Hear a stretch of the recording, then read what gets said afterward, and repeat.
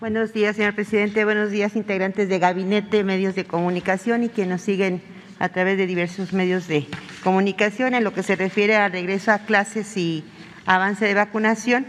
Eh, comento, regreso a clases en las diferentes escuelas, tenemos 170.782 planteles abiertos. Eh, en presentación de alumnos tenemos 14.243.222 y docentes 1.281.061.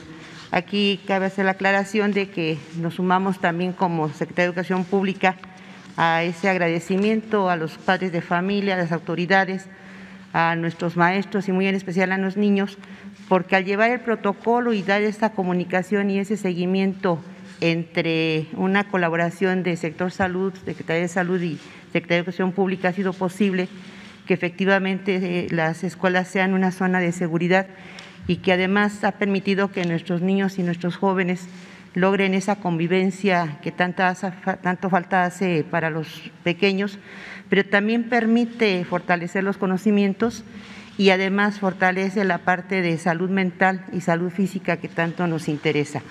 Referente al proceso de vacunación del personal educativo, pues tenemos eh, dosis aplicadas. Eh, recordemos que es moderna en su gran mayoría, pero también tuvimos AstraZeneca en dos estados y un total de dosis programadas 2.674.560.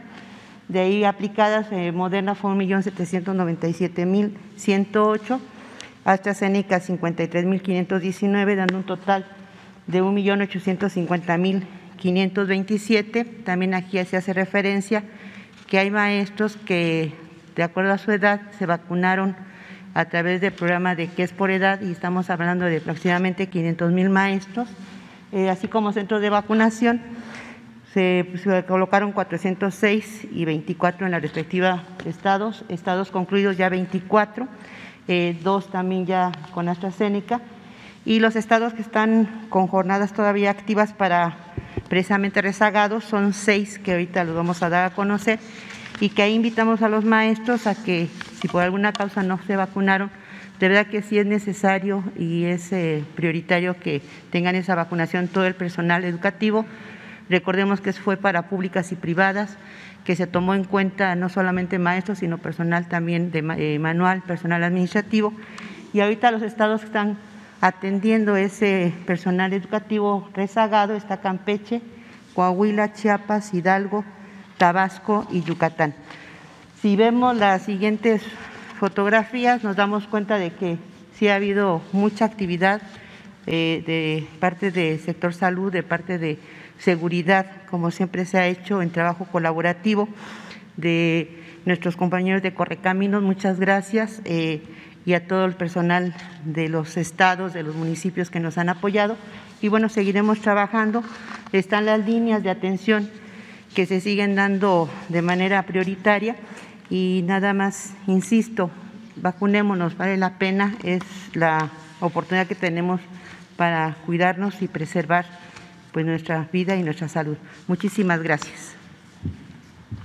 Muchas gracias por haber visto este video. Recuerda que puedes suscribirte al canal y activar la campanita para que te lleguen todas las notificaciones. Nada más ve a la campana y ponle todas. Que no se te olvide darle like al video, compartir y dejar algún comentario. Asimismo te invito a mis otros dos canales que es Mate Vlogs y James Vlogs. Y te dejo con las recomendaciones de estos videos. Cuídate mucho. Bye.